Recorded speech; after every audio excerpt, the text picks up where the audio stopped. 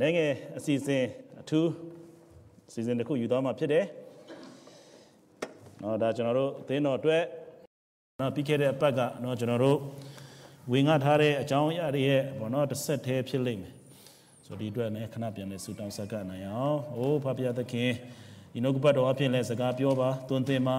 ပြုပြင်စေရလိုအပ်သောအရာများကိုနှလုံးသားအများပြုပြင်နိုင်ဖို့ရန်လဲကိုရရှင်ဝိညာဉ်တော်တိထွေလဲဖဖျားသခင်မဆာတနာတော်မူပါ အာကြားနာယုံသက်သက်မဟုတ်ဘဲနဲ့တိဆောက်เสียဖြစ်စေပါဝေငါမဲ့ကျွန်တော်နှုတ်ရှာအသုံးပြုကောင်းကြီးပေးတော်မူပါယေရှုနာမတော်မြတ်နဲ့ဆုတောင်းဆက်ကနာမ၏အာမင်ကျွန်တော်မစခင်ပါဗောနော်ဒီစာရေးဆရာတယောက်ရေးထားတဲ့ဟာကျွန်တော်နာမည်တော့မေ့သွားပြီဒါဥစားထဲကပဲကျွန်တော်တွေ့တာ Facebook ထဲကပဲဒါပေမဲ့စာရေးဆရာတော့ရှိတယ်။ဘာရေးလဲဆိုတော့ ပုံပြင်လေးတစ်ခုပဲနော်ပုံပြင်လေးတစ်ခုအာအိမ်တအိမ်မှာပေါ့နော်လေသမားမိသားစုအိမ်မှာဖြစ်တယ်နော်အဲ့ဒီမိသားစုအိမ်မှာဘာရှိလဲဆိုတော့ကြွက်တကောင်ရှိတယ်ပြီးတော့ကျက်မတကောင်ရှိတယ်စိတ်တကောင်ရှိတယ်နွားတကောင်ရှိတယ်တဲ့ဆိုတော့ကြွက်ကအဲ့ဒီကြွက်ကတရက်ကြတော့သွားရင်းနဲ့ လေသမားပြန်လာတော့တွေ့တော့ကြည့်လိုက်တော့လေသမားရဲ့လက်ထဲမှာကြွက်ထောင်ကြောက်ဝယ်လာတာတွေ့တယ်ကြွက်ထောင်ကြောက်တွေ့တော့လေသမားဝယ်လာတာတွေ့တော့သူတော်တော်စိတ်ပူသွားတယ်သူကလည်းကြွက်ထောင်ကြောက်ဆိုတာဘာလဲမသိချက်ချင်းပဲကြည်ကြက်မကြီးစီသူပြေးသွားတယ်လေလေသမားဝယ်လာတာကြွက်ထောင်ကြောက်တယ်ငါ့ကိုထောင်ဖို့လားဟုတ်တယ်နင်းကိုထောင်ဖို့ဆိုတော့ကြက်မကြီးကိုသူသွားပြီးတော့ကြက်မကြီးကသူ့အာမပေးတဲ့အပြင်ဘာနော်ကြက်မကြီးက သူ့ကိုယူတော်မဆိုင်ဘူးဘာမှမဆိုင်တယ်လို့ပဲနော်နေတယ်ဆိုကျွဲကလည်းစိတ်မကောင်းဆိုစိတ်စီသွားတယ်စိတ်ကိုသွားပြောတယ်ငါအဲ့လိုပဲနော်ကြွက်ထောင်ကြောက်နော်ငါ့ကိုထောင်ဖို့ယူလာတယ်စိတ်ကလည်းသူ့ဟာတာလုပ်တယ်ဟာကြွက်ထောင်ကြောက်တနာပါတယ်ဒီကြွက်ကတော့သေတော့မယ်အဲ့နဲ့ဘာဘယ်သူမှသူ့အာမပေးတာနဲ့သူလည်းတော့နောက်ဆုံးကျတော့နွားစီသူသွားတယ်အဲနွားစီတော့နွားကိုပြောတော့ နွားပိုတော့ဆိုးသေးတယ်နော်အကျယ်ကြီးအော်ကြီးတာတဲ့ကျွတ်ထောင်ကြောက်ညာရောက်တော့နော်အားလုံးကနားထောင်နေကြတယ်ကြက်တွေရောနော်ပြီးတော့အာစိတ်ရောနွားရောကနားထောင်နေတာပေါ့နော်ကျွတ်ထောင်ကြောက်အတန်ဘယ်တော့ကြားမလဲခဏနေကြတော့အတန်သိမ့်မကြောက်ဖြုံနဲ့ကြတော့အာအကျမလဲသွားရှာပြီကျွတ်ကတော့သေးရှာပြီအဲနဲ့ကျန်တဲ့စိတ်နဲ့နော်နွားကလည်းဟာဒီကောင်တွေတော့ နော်တနာပါတယ်ဒီကြွက်ကတော့သေသွားရှာပြီဆိုတော့ကြွက်ကလည်းကြွက်ထောင်တော့ကြံတန်ကြတယ်သူလည်းသွားပြေးကြည့်တာဗာမိတာလဲဆိုတော့သွားကြည့်တော့မွေဖြစ်နေတယ်မှာမွေတကောင်ကကြွက်ထောင်ကြောက်မှလာမိသွားတာဆိုတော့တွဲလောင်းတွဲလောင်းနဲ့မိနေတော့အဲ့ဒီအချိန်မှာမှအင်ရှင်မလည်းမသိဘူးကြွက်ထောင်ကြောက်တန်တောက်ထလာတော့နောက်မှလာတော့မွေရအိမ်ရှင်မကြီးကအမှသွားကြိုင်မယ်လို့တော့ပေါက်လိုက်တာအာစိတ်ပြင်းတဲ့မွေဖြစ်နေတော့ ဒါတခါတည်းနဲ့ဆရာဝန်တွေခေါ်နော်ဆရာဝန်တွေခေါ်ပြီးတော့နော်ဆရာဝန်လည်းကြည့်ပြီးတော့ဟာမိမမအခြေအနေသိမကောင်းဘူးအခုတော့အားနေနေတယ်ဒါမလို့နော်ကျက်စွတ်တွေပါရှိနေတိုက်လိုက်ပါဆိုလေတော့မလည်းတခါတည်းနဲ့ကျမယူယူပြီးတော့တပ်ပလိုက်ပြီးတော့ကျက်ဆုလှုပ်ကြွေးလိုက်တာ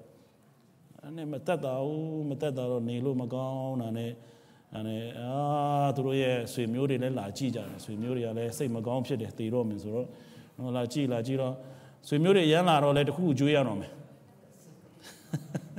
ဆိုအိမ်မှာကျွေးစရာမရှိတော့အဲ့ဒါခါတဲ့လေသမားလည်းသူ့ရဲ့စိတ်ကိုယူပြီးတော့တတ်ပလိုက်ပြီးတော့စိတ်ပေါ်ပြီးတော့နော်ကျွေးပလိုက်တယ်သူ့ရဲ့ဆွေမျိုးတွေနောက်ဆုံးကြတော့တည်သွားရောမိမဘာမှလုပ်လို့မရတော့အတုပါတွေပါတယ်လှုပ်ပြီးတော့အလူလုံမယ်ဆိုတော့နွားကြီးကိုတတ်ပလိုက်တာဆိုနွားလည်းတည်သွားရောချွက်ကလည်းကြည်တာဟာ ခဏလေးအတွင်းမှာတပတ်အတွင်းမှာတခါတည်းအခြေအနေတွေပြောင်းတာချွတ်ထောင်ချောက်တစ်ခုကြောင့်အဲ့ဒါ तू ကသွားကြည့်တာဟာငါပြောတဲ့အချိန်မှာတော့ဘယ်သူမှစိတ်မဝင်စားအောင်ဒါပေမဲ့အဲ့ချွတ်ထောင်ချောက်တစ်ခုကြောင့်၃ယောက်တောင်မှသေသွားတယ်နော်၄ယောက်ပေါ့နော်မိမအိမ်ထောင်မိသားစုအပေါင်းဆိုတော့အဲ့ဒီပုံပြင်လေးကဘာမှတော့မဟုတ်တယ်လို့ပဲနော်ဒါပေမဲ့အိမ်ထောင်တစ်ခုမှာနော်ဖြစ်သွားတဲ့အရာနော်အသင်းတော်မှာလည်းဒီလိုပဲနော်ဒီနေ့လည်းကျွန်တော်တို့ပြောမယ့်အရာဒီအသင်းတော်မှာဟာ तू ဖြစ်တာငါနဲ့မဆိုင်ဘူးငါဖြစ်နေတာဘယ်သူမှကြည့်မဆိုင်ဘူးအဲ့လိုမျိုးရှိတယ်အဲ့လိုမဖြစ်ရဘူးအသင်းတော် ဆိုတော့ဒါမလို့เนาะဒီနေ့ကျွန်တော်တို့เนาะသွားမယ်နှုတ်ကပတ်တော်เนาะအဲ့ဒါကိုကျွန်တော်တို့เนาะပြန်လည်ဆင်ခြင်အောင်မေးဖို့ရတော့ So today I would like to share you, you know, before I start a message, you know, this is uh, what I read in, you know, uh, somebody wrote it, but I forgot the author. But this is about uh, a story from, you know, a farm, a farmer house. There's a mouse and a goat and a cow and a, and a chicken you know, in the farmer house. So one day, the mouse was, you know, uh, looking, and then he saw the owner came back, the, the, the farmer came back, and he saw a mouse trap. You know, the farmer brought a mouse trap. So he, the, the mouse was so upset. Oh, this is, you know, it's going to trap me, this mouse trap. So he was very upset and he ran to the chicken and went to say the chicken, hey, you know, this, my life is going to you know, about to end. You know, they brought a, uh, he, he bought a mousetrap. And the kid, the, the chicken, you know, was a kind of joking to him and, you know, didn't, you know, tell him, uh, any, encourage him. And then he was very upset. He ran to the goat. And the goat said the same and even make him, you know, more joke. And I was so upset and then went to say the cow. And the cow said, you know, laugh even louder, you know. So then finally, the, you know, the mouse came back and, you know, very upset. And he was very careful, you know, not to touch, you know, that mouse trap. And then, you know, all of these animals, they are waiting, you know, and uh, they, they're just very curious, you know, when they're going to hear that, the noise, you know, of the, the mouse, mouse trap. And then at night, you know, the mouse trap, boom. And then the chicken thought, wow, there's the mouse die. And the same with, you know, the goat and the cow. They thought, oh, the mouse is gone. And the mouse was also heard the, the noise. And then he ran and looked at, you know, who was in the trap. And then, uh, you know, in that trap was a snake. A snake was caught in that mouse trap. And when the, the owner heard that, you know, she came and ran and, you know, the, you know, the woman, the wife came and then, you know, going to pick, about to pick up the mousetrap because it's dark. So then it was a snake, so the snake bite, you know, to that, uh, you know, the, uh, and the, the wife. And it was a poisonous snake. So she was, you know, seriously ill and the doctor came and, you know, did whatever he, you know, could. But, uh, you know, he, he said to the husband, the condition is not good. You know, she need, you know, you know, you have to feed something. You know, she need kind of chicken soup. So then, the, you know, the owner, you know, the farmer went and then killed the chicken. And the, you know, the condition getting worse and worse. So the, the relatives came and visit and, you know, come and, you know, say, you know, final words to, the, you know, the, the wife. And so the, you know, the farmer said, oh, I have to feed something. So he went to kill the goat. And the goat was gone. And then finally they had a funeral. And they made the funeral and they came back. And also there are a lot of people from town came and visit, you know, his house. So then the farmer said, oh, you know, I have to, you know, do something for them, feed them something, give them something to eat. So he went and killed the cow. The cow was gone. So then the mouse was look at, you know, that incident.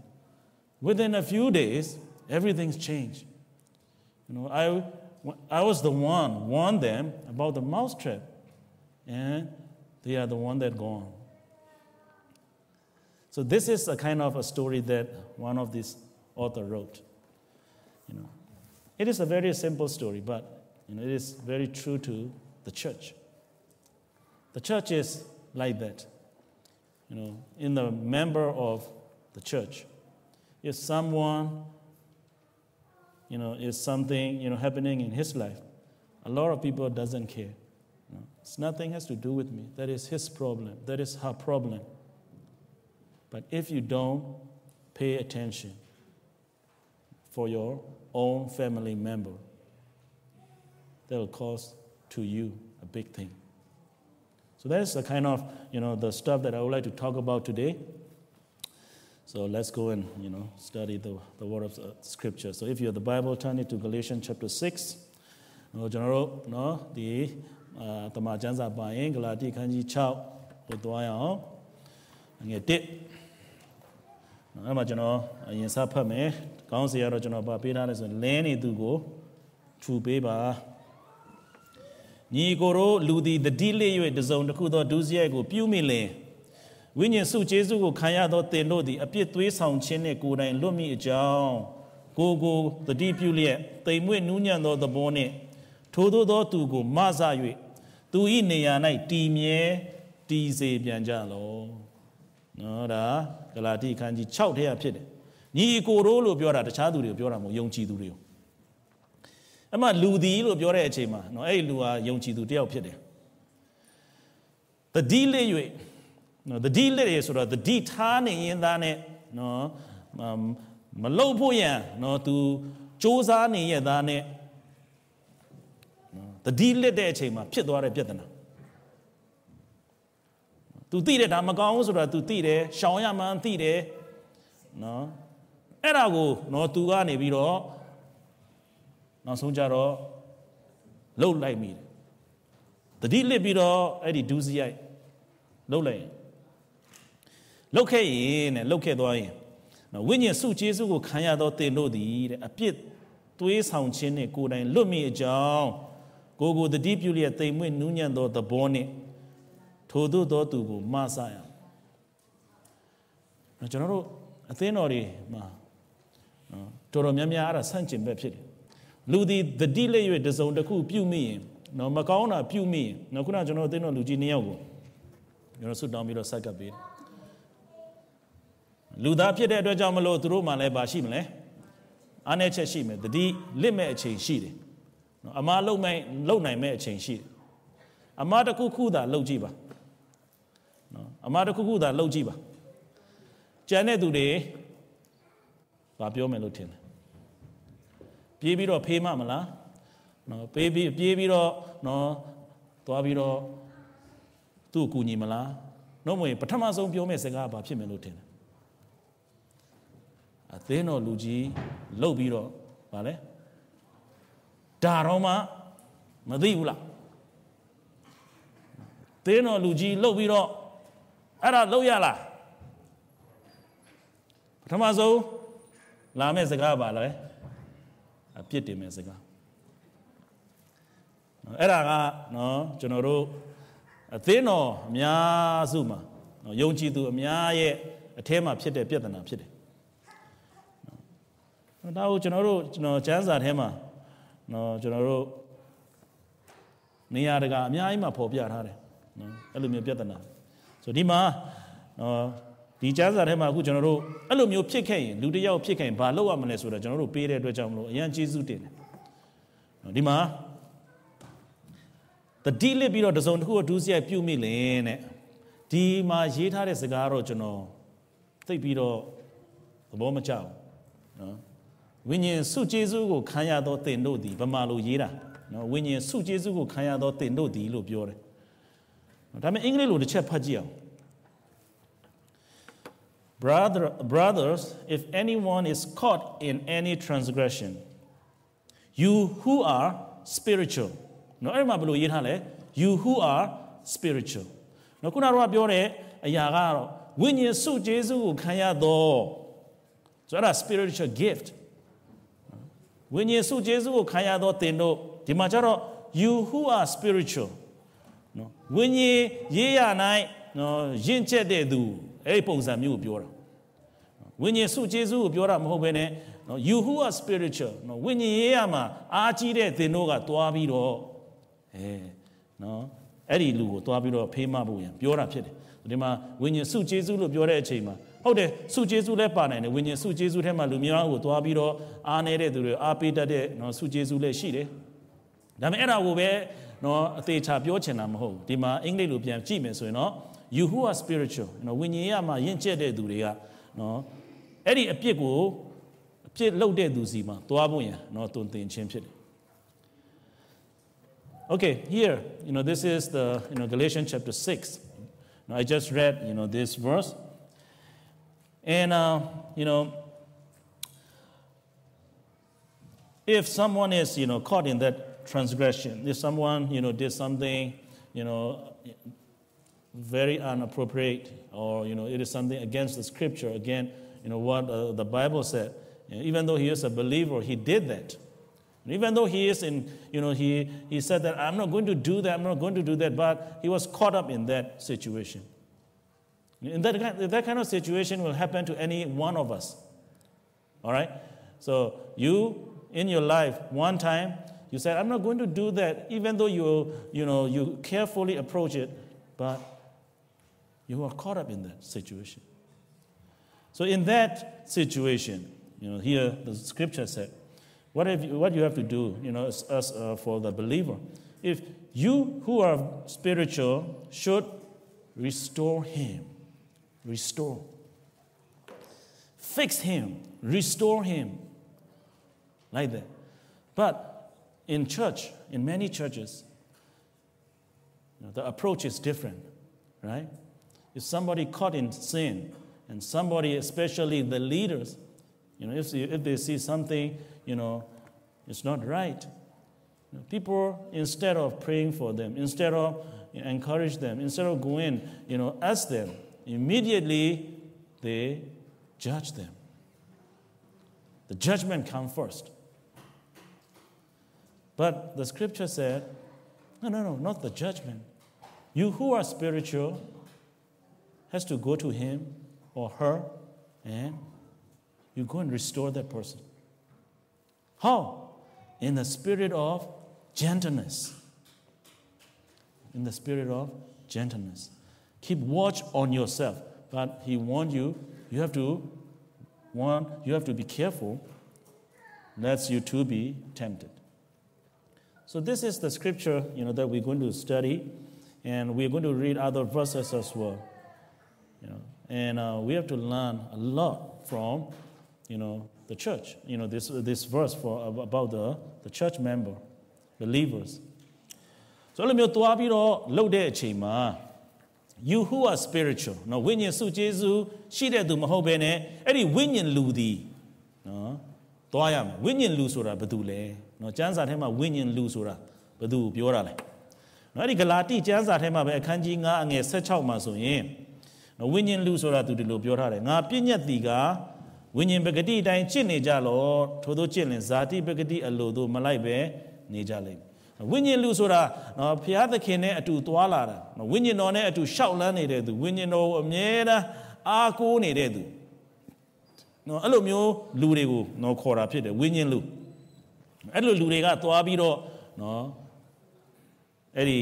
အားနေတဲ့သူအားနေတဲ့ညီအကိုကိုသွားပြီးတော့ နော်ပြန်လဲပြီးတော့ထနိုင်ဖို့ရန်ဆွဲခေါ်တာဒါမျိုးလဲတဲ့သူကိုထူဖို့ရန်လိုအပ်တယ်နော်ဗမာမှာစကားပုံရှိတယ်နော်လဲရဘာဖြစ်လဲတကိုးထောင်နော်လဲတယ်လဲတယ်အဲ့ဒီမှာလဲတာကိုတကိုးကလည်းတွေ့တော့ဘာဖြစ်တော့လဲထောင်းသွားသေးတယ်ဆော်သွားသေးတယ်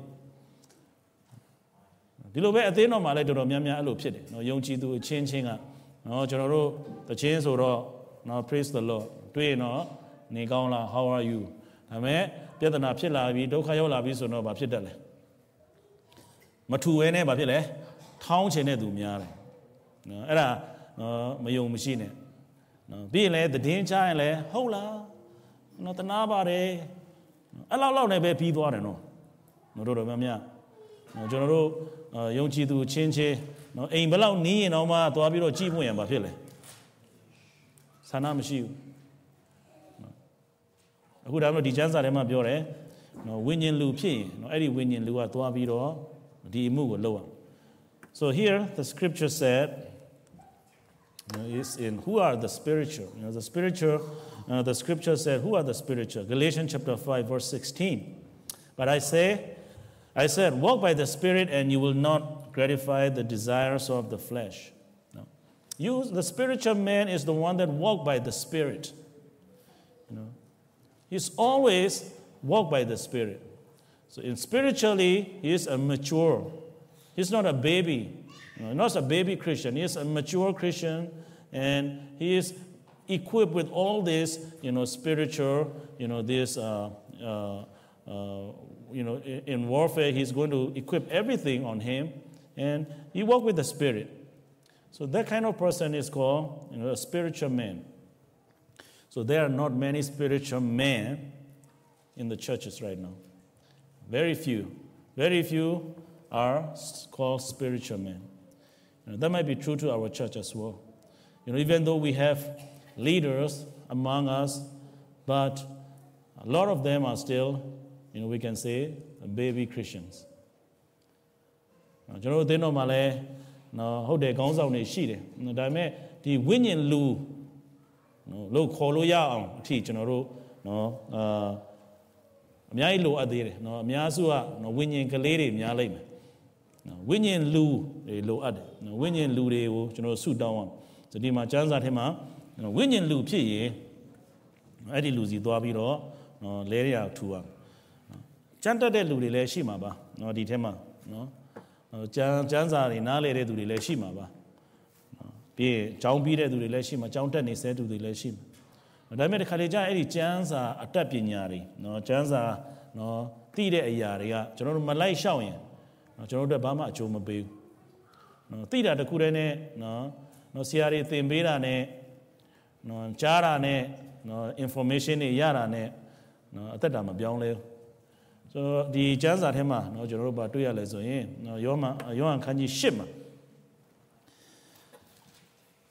နော်ဒီမှာကျမ်းပြုဆရာနဲ့ပါရီရှယ်ခရိယန်လို့ကျွန်တော်ပြောထားတယ်နော်ခရိယန်တွေတော်တော်များများကျမ်းပြုဆရာနဲ့ပါရီရှယ်ခရိယန်တွေဖြစ်တယ်နော်ဘာဖြစ်လို့လဲဆိုရင်နော်ယေဟောခန်းကြီး၈အငယ်၃မှာနော်မာယွင်ခြင်းမှုကိုပြုလက်နေသောမိမနော်အကြောင်းကျွန်တော်တို့သိတယ်အဲ့ဒီမိမကိုနော်ဒီကျမ်းပြုဆရာနဲ့ပါရီရှဲတွေကမာယွင်ချင်းကိုတွေ့တဲ့အချိန်မှာဖမ်းပြီးတော့ခေါ်လာနော်သူတို့ဖမ်းပြီးတော့ခေါ်လာတယ်နော်ဘာလို့လဲဆိုရင်တဲ့နော်ဖြစ်ခရစ်တော်ကိုစမ်းသပ်ဖို့ဖြစ်တယ် ဒါပေမဲ့သူတို့မှာအမြဲတမ်းသူတို့လုပ်နေကြအလုပ်တစ်ခုဖြစ်တယ်နော်ဖာရိရှဲနဲ့ကျမ်းတက်ဆရာတွေနော်သူတို့ကခေါ်လာတဲ့အချိန်မှာအငယ်ငားမှာဒီလိုမေးတယ်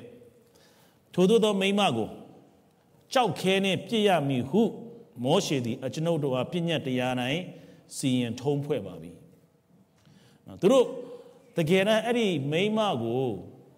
နော်အဲ့ဒီမကောင်းတာလုပ်တဲ့အမျိုးသမီးကိုနော်သူတို့တကယ်ပဲချစ်တယ် နော်တကယ်ပဲသူတို့နော်ဒီ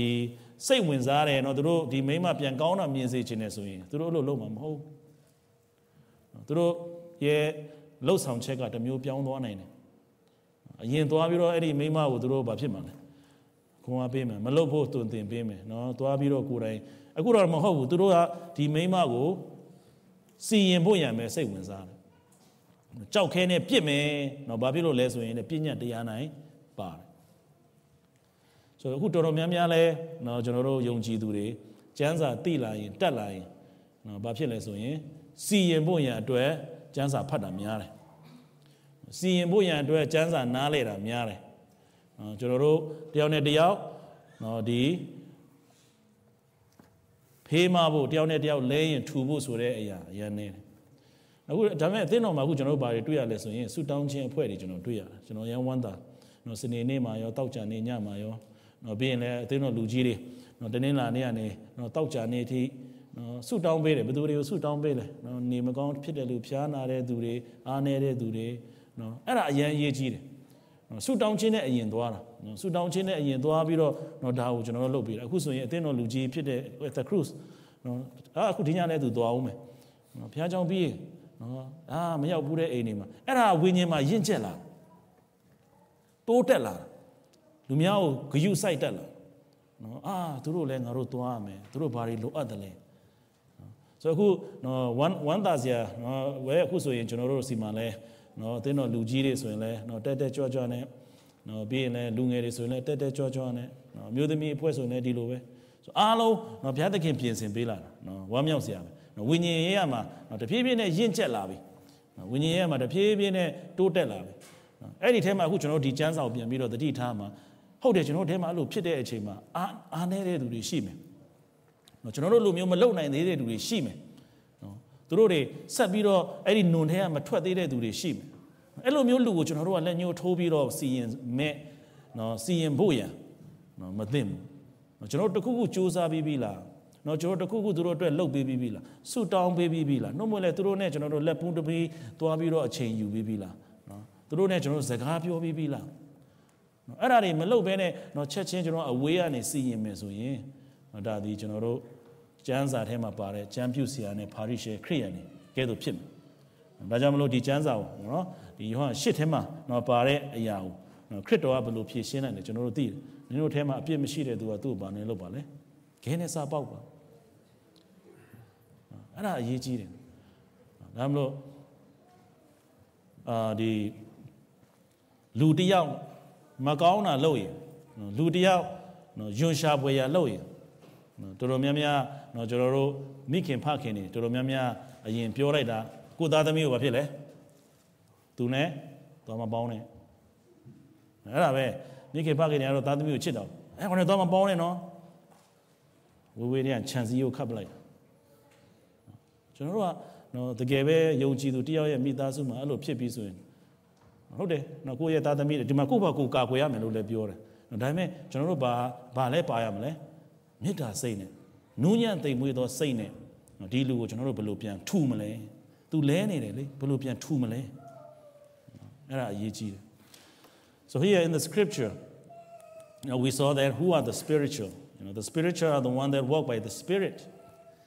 and but many people are lack you know many believers have uh, you know lacking in this kind of uh, spiritual maturity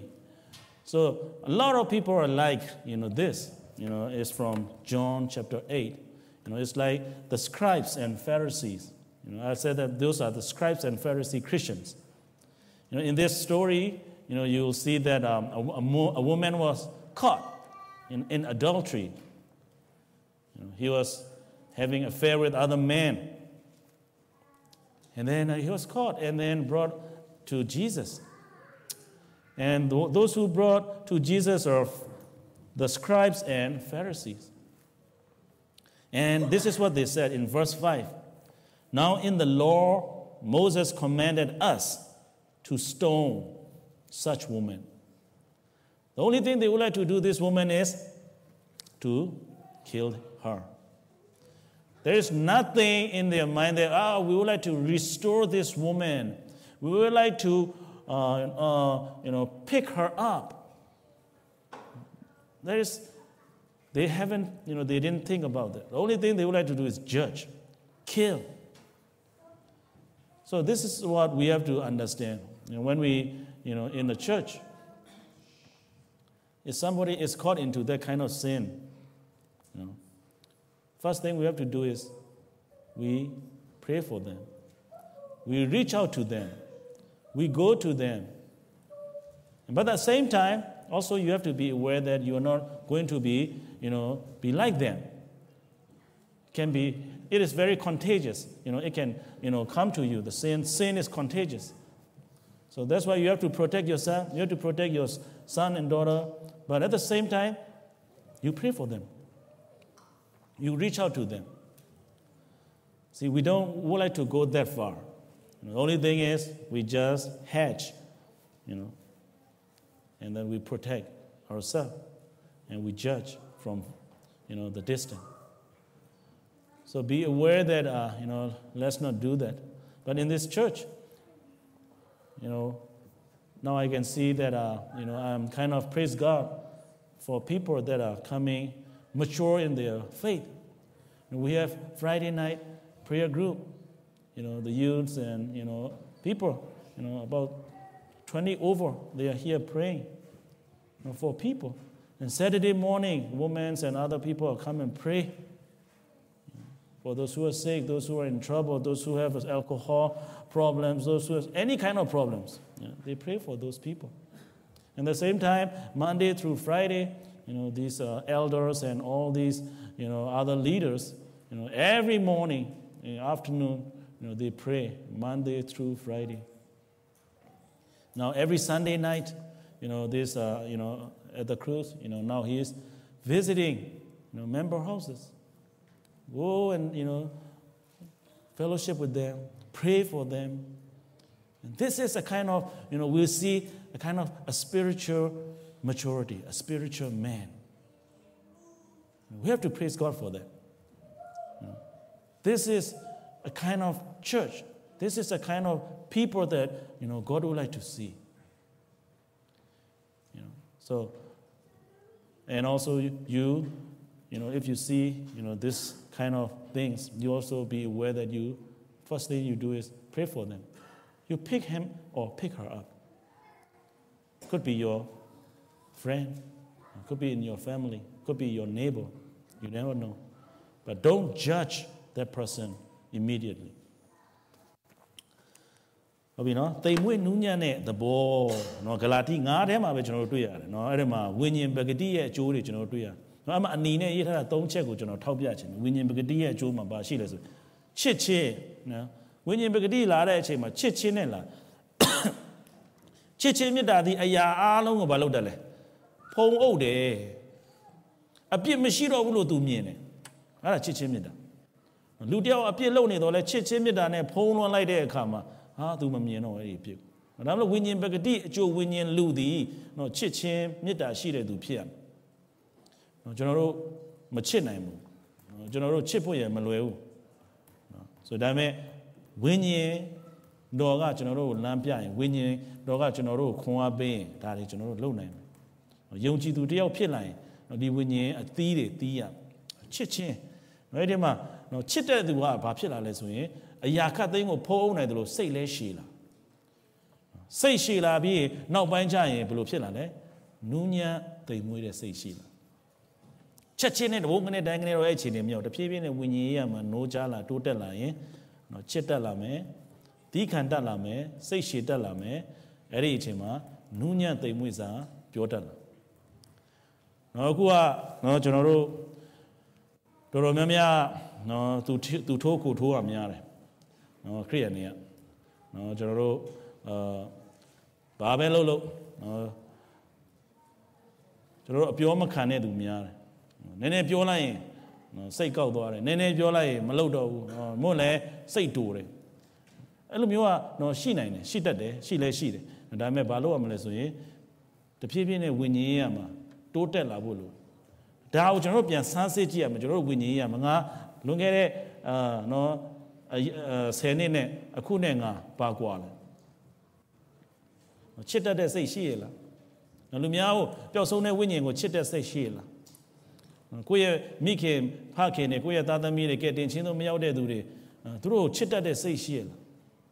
မမို့လဲကိုယ့်သားသမီးတွေကိုယ့်လင်မယားတွေကိုချစ်တတ်တဲ့စိတ်ရှိရလားအဲ့ဒီချစ်တတ်တဲ့စိတ်မရှိရင်နော် တေချတယ်ကျွန်တော်တို့မှဘာမရှိဘူးလဲဆိုရင်ဝိညာဉ်တော်ဘာမှမလှုပ်ရှားဘူးအဲ့ဒီချစ်တတ်တဲ့စိတ်ရပဲဆင်းသက်လာတယ်ကောလုံးနောက်ဆုံးနူးညံ့တိမ်မွေးတဲ့စိတ်အထိဒါမှမဟုတ်ဧဝံဂေလိသွားပြောရင်တော့မှလူများကိုဗာပြောရတာလေစကားချူချူတာတာနဲ့ပြောတယ်စပြောတဲ့အချိန်ကတော့ဟောက်လားနော်တခါတည်းနဲ့လူများကိုငရဲတခါတည်းပြစ်ထည့်လိုက်နောက်ပိုင်းကျပြောတတ်လာတော့ဘယ်လိုပြောလာလဲဟာသူ့ကိုကဲတင်ချင်းတို့ရောက်စေခြင်းတော့နော် နူးညံ့တိမ်မွေးတဲ့စကားနဲ့ပြောတတ်လာဟောဆိုဝิญဉ်ရမှာရင့်ကျက်လာစတော့ကတော့နော်ပြောတာတစ်မျိုးတခါတည်းနဲ့ပဲကိုတိသမျှအကုန်လုံးရေတယောက်ထဲမှာရေလောင်းချတယ်လို့ပဲလောင်းချပလိုက်နားမဲ့တပြေးပြေးနဲ့ဝิญဉ်ရမှာရင့်ချက်လာတော့တိတော့ control လုပ်တတ်တာဒါပြောသင့်လားဒီနေရာမှာငါတို့လို့လှုပ်လိုက်သင့်လားနော်စဉ်းစားတတ်လားနူးညံ့သိမ်မွေတော့စိတ်ဖြစ်လာ အဲ့ဒီလက္ခဏာကျွန်တော်တို့ရှိရမယ်အခုကျွန်တော်တို့ခေါင်းဆောင်တွေမှာဆိုရင်လည်းနော်တိုးတက်လာပြီနော်အဲ့ဒီစိတ်တွေတွေးရတယ်နူးညံ့သိမ်မွေတဲ့စိတ်နဲ့ကျွန်တော်နာမည်တော့မပြောဒီထဲမှာတော့ရန်ကိုနော်ပြောင်းလဲလာတဲ့သင်တော်လူကြီးတွေရှိတယ်အရင်ကနဲ့ခင်ဗျားတို့တွေ့ဘာမှမဆိုင်ဒီမှာခုဆိုရင်သူတို့အသက်တာလုံးဝပြောင်းလဲသွားဘုရားကိုချစ်တဲ့အသက်တာဘုရားကိုဆာငတ်တဲ့အသက်တာပေးဆက်ခြင်းတဲ့အသက်တာတွေတွေ့လာ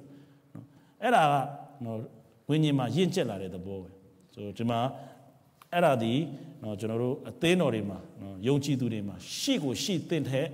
နော်ရှိထိုက်တဲ့လက္ခဏာဖြစ်ရမယ် Okay, here, a spirit of gentleness, what does that mean? You know, in Galatians chapter, uh, Galatians chapter 5, it's mentioned, you know, the fruits of the Spirit. You know, you all know, start with love, joy, peace, patience. You know, so this red, you know, you pay attention. So the, the Spirit, the fruit of the Spirit is, one of the, the first one is love. love cover everything. And if you do something, if someone does something wrong to you, if you love that person, you forgive. You cover the sin. So if you become mature, you know, eventually, you know, mature in the spiritually, you mature, you should see yourself that kind of love in you. And if you have love, you have patience. If you have patience, then finally, you know, then you can have gentleness. You can show kind of gentle words. You can speak gentle, you know, words to them. You can act gently to them. think about yourself. I was the same, you know, when I became a believer and when I know how to share the gospel. The first thing I would like to, you know, spread the gospel was send them to hell. Hell gospel, you know, first. There's no love gospel. Hey, if you don't believe Jesus, you're going to die and you're going to hell. So just want to, you know, like, you know, beat with, you know, a big blow, this, this kind of stuff. But eventually I, I kind of, you know, find out, oh, this is not the way, you know, that approach. You know, we have to fix it, you know. So something, should I speak it or not? You know, should I do this or not? You know, that, you know, kind of stuff, you know, I can see it in my life. So now, the same thing is true to our, you know, leadership here. You know, some of you, you know, I'm not going to mention his name or her name, but that person changed totally. If you see that person 10 years ago, and now you see that person today, you know, you won't think that is possible. But that was possible. His life changed or her life changed and now become, you know, totally, you know, have self-control and getting mature in, you know, faith or her faith. So you have to, you know, also you have to test yourself. Do I have that kind of, you know, approach or, you know, advance in my life? So အာဒီမှာနော်ဒီမှာနောက်တစ်ခုကျွန်တော်တို့အာမသေးထဲရနော်မသေးဆက်ရှစ် နော်ဒီမှာနော်တချို့ကစိတ်သိမ့်မရှိဘူးပေတရုကလည်းဒီလိုပဲနော်ပေတရုကနော်ခရစ်တော်ကဒီခွင့်လွှတ်ရမယ့်အကြောင်းသင်ပေးတဲ့အချိန်မှာသူကချက်ချင်းပဲနော်ဒီလိုပြောတယ်ပေတရုဒီချင်းကပ်၍သခင်ညီကိုဒီကျွန်တော်ကိုပြစ်မှား၍ကျွန်တော်ဒီသူ့အပြစ်ကိုဘယ်နှချိန်လွတ်ရပါအံ့နီနော်သူပဲမေးခွန်းမေးလိုက်တာနော်နော်ကျွန်တော်ဘယ်နှခါခွင့်လွှတ်ရင်ကောင်းမလဲကျွန်တော်တခါလာပြစ်မှားတဲ့သူ သူပဲမေးခွန်းမေးတဲ့အဖြေတော့မှသူမစောင့်ဘူးဘယ်လိုဖြေလိုက်လဲခုနှစ်ချိန်ဆိုတော်ပြီလားနော်ခုတော်တော်များများအဲ့လိုဖြစ်တယ်နော်ကျွန်တော်သူ့ဆရာ၃ခါတော့မှခွင့်လွှတ်ပြီးပြီး၄ခါခွင့်လွှတ်ဆရာလိုသေးလားပေတရုကလည်းအဲ့လိုမျိုးလာပြောတာနော်အဲ့လူတယောက်ကျွန်တော်လို့ရင်ကျွန်တော်ဘယ်နှခါခွင့်လွှတ်ရင်ကောင်းမလဲခုနှစ်ခါရပြီလားယေရှုကဘယ်လိုပြောလဲမဟုတ်ဘူးနော်ခုနှစ်ကြိမ်မြောက်အောင်မဟုတ်ဘူးခုနှစ်ကြိမ်မြောက်အောင်လွှတ်ရမယ်လို့ငါမဆိုးတဲ့ အကြိမ်90ခုနှစ်လပြောချင်တာတော့ဘာဖြစ်လဲမင်းမချစ်ချင်းမေတ္တာရှိရင်အမြဲတမ်းအဲ့ဒီသူကိုဘာလုပ်နိုင်လဲခွင့်လွှတ်နိုင်တယ်ဘာလို့ချစ်ချင်းမေတ္တာအရာခတ်သိမ်းကိုဘာလုပ်လိုက်တာလဲဖုံးလွှမ်းလိုက်တာနော်90ခုနှစ်လဆိုတာ490ပြည့်တော့မလွတ်တော့အဲ့လိုလည်းမဟုတ်ဘူးနော်90ခုနှစ်လဆိုတာအာအတိုင်းမရှိချစ်ချင်းမေတ္တာရှိသွားရင်ဒီလူကို every time welcome ဆိုတော့ တော့ဒီမှာလဲကျွန်တော်တို့လည်းသင်ခန်းစာယူဖို့ဟာလဲတဲ့သူကိုထူဖို့ရအဲ့ဒီထူတဲ့သူကနံပါတ်1ကချစ်ချင်းမေတ္တာနဲ့မသွားရင်အဲ့ဒီထူတဲ့သူကိုလဲတဲ့သူကိုမထူဘဲနဲ့ကျွန်တော်တို့ဘာလုပ်ရကြလဲဆိုထောင်းရကြနော်ဒါကြောင့်မလို့နော်အသင်းတော်ထဲမှာနော်တချို့ကျွန်တော်ပြောတယ်အာနော် counseling မလုပ်တတ်ရင်သွားမလုပ်နဲ့ counseling မလုပ်တတ်ဘဲနဲ့သွားလုပ်ရင်ပိုဆိုးသွားရော လဲတဲ့သူကိုမထူဘဲနဲ့လဲတဲ့သူကိုမလုပ်တာလဲပိုဖိသူဖြစ်သွားအဲ့ဒါကျွန်တော်တို့မလုပ်သင့်ဘူး So here you know in the church you know we have to also uh, we have to be uh, study from this verse Matthew chapter 18 a lot of people are like this you know impatient and no love so here is the Peter is the one of uh, one of them you know Peter before you know he was mature in his faith this is what he asked you know, to the Lord Jesus Christ. Jesus was, you know, teaching them about forgiveness, how to forgive, how to love. And then Peter came up and said to him, Lord, how often will my brother sin against me and I forgive him? So he's the one asking Jesus Christ the question. How many times? He didn't even wait to get the answer from Jesus Christ. He immediately said, Seven, is that seven time enough? So some of you might like that. Yeah, I forgive that person this much time. Should I still forgive that person? Just too much. I can't bear. But what, what does the Lord say? What does Jesus Christ say?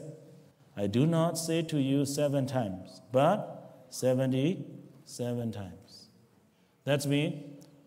You know, if we do the math, 490 times. But it's not even talking about 490 times. All right?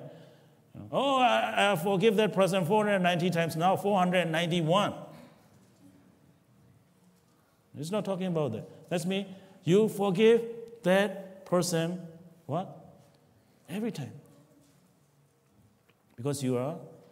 you got the love of Jesus Christ. Love cover everything. Forgive that person. If you see your brother, you know, believers, some of them have that problem. You forgive that person. If you are, if he is fallen, pick him up. But you need love to do that. So to have love, you need to have a spirit. You have to be mature in your spiritual life. ထူပေးရင်မလုပ်ပေးရမယ်လို့ကျမ်းစာပြောလဲဆိုကူပေးပါတဲ့နော်ထူပေးတာတခုတည်းနဲ့မရဘူးနော်ထူပေးရင်မလုပ်ပေးရလဲကူပေးရတယ် နော်ဂလာတိ6မှာပြောတယ်ထမ်းရွက်စရာဝန်ချင်းတို့ကိုအချင်းချင်းကူညီ၍ထမ်းရွက်သောအဖြစ်ခရစ်တော်၏တရားကိုကျင့်ကြလောနော်တော်တော်များများကျွန်တော်တို့ထူပေးပြီးပြီးသွားတယ်ထင်တာမဟုတ်ဘူးနော်ဒါခရစ်ယာန်ရဲ့နော်အလုပ်ကမလွယ်ဘူးနော်ဒါဒါမှမဟုတ်ခရစ်တော်ကကျွန်တော်တို့ challenge လုပ်တာငါနောက်လိုက်နော်ကိုယ့်ရဲ့လက်ဝါးကားတဲ့ကိုယ်ကိုယ်တိုင်ထမ်းရမယ်နော်ဆိုဒီမှာဒါမှမဟုတ်ဒီကျမ်းစာပြောတယ်ထမ်းရွက်စရာဝန်ချင်းတို့ကိုအချင်းချင်းကူညီ၍ထမ်းရွက်တော်အဖြစ်အဲ့ဒီ လဲပြီးတဲ့သူကိုထူပြီးရင်ဆက်ပြီးတော့ကူပေးပါသူလမ်းလျှောက်နိုင်တဲ့အထိအဲ့ဒါနော်ဝိညာဉ်ရေးရမှာယဉ်ကျက်တဲ့သူတွေနော်လောက်ရမယ်အလုပ်ဖြစ်တယ် In Galatians chapter 6 you know, not only pick him up you know when someone is fallen not only pick him up you also have to hold him up till he can walk or till he she can walk by herself you pick him up and then you help him to you hold him you know to you know, so that he can walk by his, himself. So this is what the scripture said bear one another's burden and so fulfill the law of Christ. Fulfill the law of Christ. ဒီကျမ်းစာထဲမှာထမ်းရက်စရာဝန်ချင်းတို့ကိုအချင်းချင်းကူညီ၍ထမ်းရွက်သွားဖြင့်ခရစ်တော်ဤတရားကိုမလုပ်ပါလဲကျင့်ကြလော ဘာလဲခရစ်တော်ရဲ့တရားဆိုတာခရစ်တော်ရဲ့တရားဆိုတာဘာလဲတော်တော်များများခရစ်တော်ရဲ့တရားဆိုရင်နော်အမျိုးမျိုးပြောကြတယ်ဒါပေမဲ့ခရစ်တော်ရဲ့တရားတစ်ခုပဲရှိတယ်ပါလေသလားဂလာတိခန်းကြီး9ထဲမှာပဲအကြောင်းမူကားကိုနှင့်ဆက်ဆိုင်သောသူကိုကိုနှင့်အမျှချစ်လောဟူသောပညာဘလောက်လဲတပားကိုကျင့်တယ်ပညာတရား ရှိသမျှကိုအကျွင်းမဲ့ကျင့်ရာရောက်၏ဟာမလွယ်ဘူးလားလွယ်တယ်လို့လို့ပဲနော်ဒါပေမဲ့တကယ်တော့မလွယ်ဘူးအဲ့တပားလေးချစ်မှုကိုနဲ့ဆက်ဆိုင်သောသူကိုကိုနဲ့အမြချစ်နိုင်ရှိသမျှပြည့်ညတ်တွေအားလုံး613ပေါင်းနဲ့ပြည့်စုံတယ်ဂလာတိယအဲ့လိုပြောကိုနဲ့ဆက်ဆိုင်တဲ့သူဆိုတာဘယ်သူလဲအဲ့ဒါကိုခရစ်တော်လည်းဗာပေးလဲ ဥပမာပေးတယ်ဟုတ်တယ်မလားကိုနဲ့ဆက်ဆိုင်သောသူလူတယောက်ကဘာဖြစ်လဲအရိုက်ခံရတယ်အဲ့ဒီမှာလူ၃ယောက်တွေ့တယ်ဘသူကကူညီလဲဘာရိရှဲမကူညီဘူးလေဝိသားလည်းမကူညီဘူးသူ့ကိုကူညီတာဘသူလဲရှမာရိခရစ်တော်ကပြောတယ်အဲ့ဒီရှမာရိအဲ့ဒီလူကိုကူညီတာသူနဲ့ဆက်ဆိုင်နေသူငါဆွေမျိုးငါမိန်းမငါမိသားစုပဲပြောတာမဟုတ်ဘူးငါအသင်းတော်ပဲပြောတာမဟုတ် ကိုနဲ့ဆက်ဆိုင်သောသူဆိုတာပါလဲကိုသွားရင်းနဲ့ကြုံတွေ့လာတဲ့အချိန်မှာအဲ့လဲတဲ့သူကိုကျွန်တော်တို့ထူဖို့ရင်ဘယ်သူတောင်းမှာလဲယုံကြည်သူတွေရဲ့တောင်းအကိုနဲ့ဆက်ဆိုင်တော့သူကြော်မသွားရအောင်ဒီမှာကျမ်းစာထဲကနော်ခရစ်တော်ရဲ့တရားဆိုတာအဲ့ဒါကိုနဲ့ဆက်ဆိုင်တော့သူကိုကိုနဲ့အများချစ်ပါ So yeah what is the law of Christ you know the law of Christ is also you can see that from Galatians chapter 5 For the whole law is fulfilled in one word just one word You shall love, you know, there is the word called love. You shall love your neighbor as yourself. If you keep that law, you fulfill the entire 613 laws. Only one thing you shall love your neighbor as yourself. Who is our neighbor? Right? Who is our neighbor? Is that your family? Or is that your, uh, you know, the, the one, the house next to your house? Is that your neighbor? It's not talking about that. You know, that's what Jesus Christ gave the parable, right? Example. A man was beaten, raw, and dying, about to die. And then one man came, you know, Pharisee, the Levite came. Two of them didn't do anything, just walked by and then they're gone. And then a Samaritan came and picked him up, hold him up, put him on, his donkey, and take him to the nearest motel. And took out his money, give it to them, and taking care of him. And I'll come back and give you the rest. That is your neighbor. So the same thing in spirituality it is true.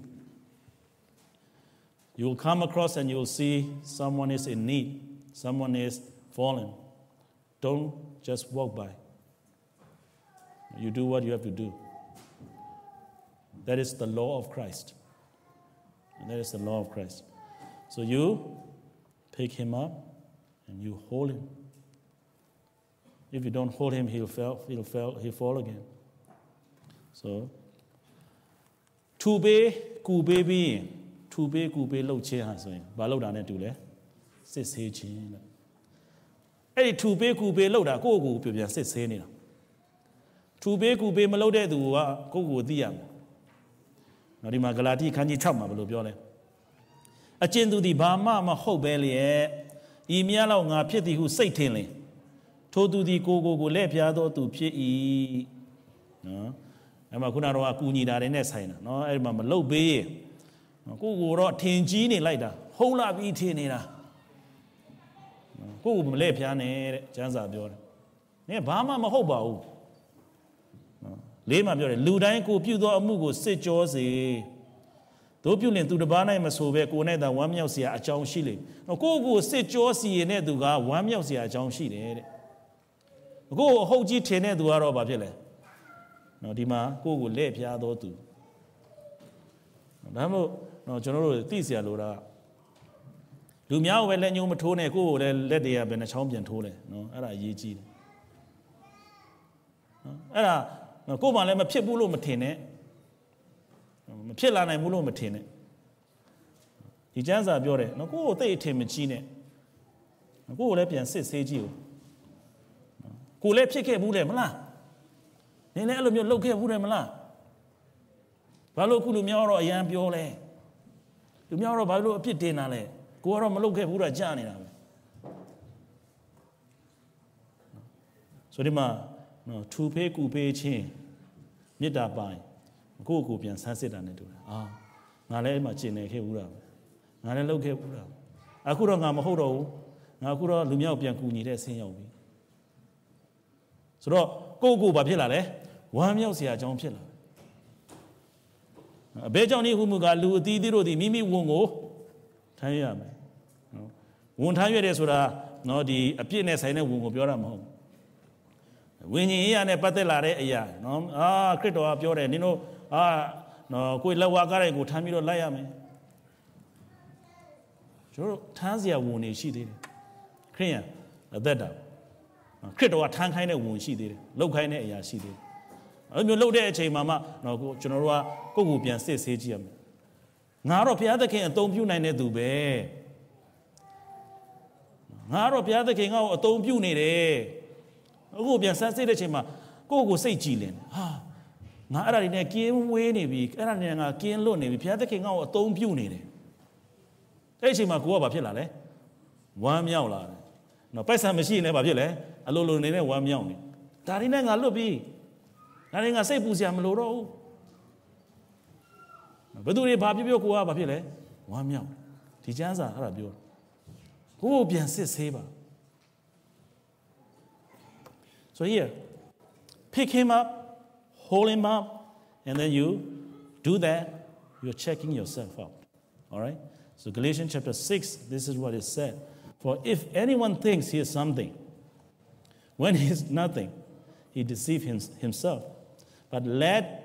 each one test his own walk and then his reason to boast will be in himself alone and not in his neighbor. For each will have to bear his own load. See? You have to be aware that, um, you know, something that you are not, you, you're trying to be like, oh, I'm great in that. You know, I can do that. And I can see a lot of that stuff, you know, is going around uh, out there. Especially like uh, when I was at school. I have many friends know, they are Americans, so I thought they, you know, really know, you know, and you know, especially has to do with homework and stuff. You know, I thought, man, they may be so good. And I was doing my homework, and I thought, oh, it might be wrong, but I was the one that right, and they are wrong. And they look, they know everything. Scripture said, oh, you know, if anyone think he's something, you know, he's still, you are still nothing. So here, you know, if you can help someone,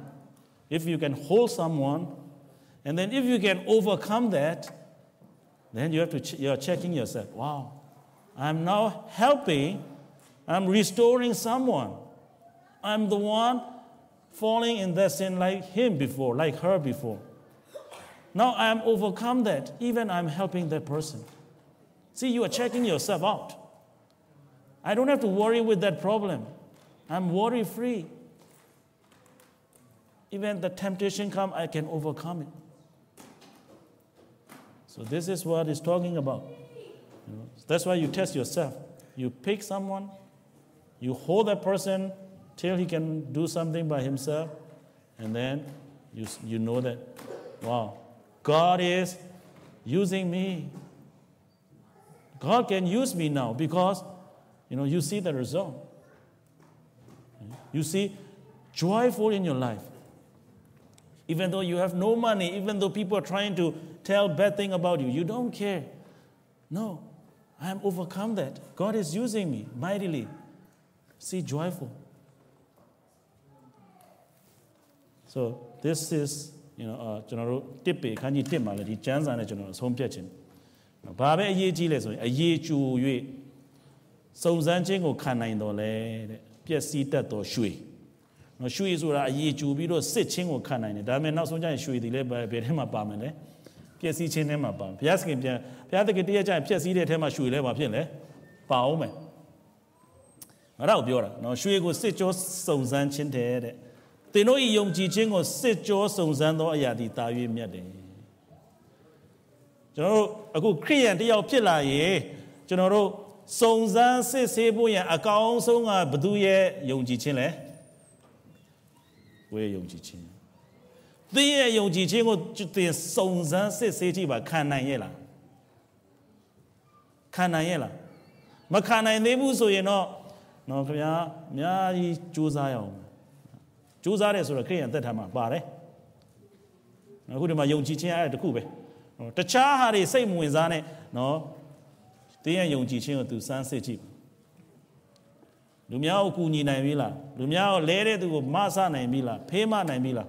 နော်အဲ့ဒီအရာတွေကြော်လွန်နိုင်ပြီလားနော်အဲ့ဒါဆိုရင်တော့ကိုယုံကြည်ခြင်းတွေဘာဖြစ်လဲရွှေထက်တမိုးရှိတယ်တစ်ပေခန်းကြီးတစ်ကနော်မိတ်ဆွေတို့ နော်တခြားမစစ်နဲ့ IQ ဘယ်လောက်မြင့်လဲသွားမစစ်နဲ့နော်ငါစုရှိဘယ်နှဘူးလိမ့်နိုင်လဲဆိုတာမစစ်နဲ့ဘာလို့ရမလဲငါယုံကြည်ခြင်းဘယ်လောက်ရှိလဲအဲ့ဒါစစ်ငါယုံကြည်ခြင်းအစစ်ကြောခြင်းခံနိုင်မုံတိုင်းနေအမျိုးမျိုးလာမယ်ဖြတ်တဲ့အချိန်မှာငါခံနိုင်လားအဲ့ဒါအရေးကြီးဆုံးအာလူများတဲ့ငါထမင်းဆယ်ခွက်ပူစားနိုင်တယ်အဲ့ဒါလည်းမဟုတ် ယုံကြည်ခြင်းကအရေးကြီးဆုံးကိုယုံကြည်ခြင်းကိုစစ် So here I would like to close with this verse from 1 Peter chapter 1 verse 7 See here, so that the tested genuineness of your faith, see, the, the, your faith, You know, it is more precious than, precious than gold that perishes through it is tested by fire. See, gold is very precious, and you test with fire. But we know that one day gold and silver and everything, God is going to destroy all of them. But your faith, if you test your faith, that faith will last for eternally. See, that's what we have to do as a Christian. Every time, every time of our life, every year, every week, every day, we test our faith.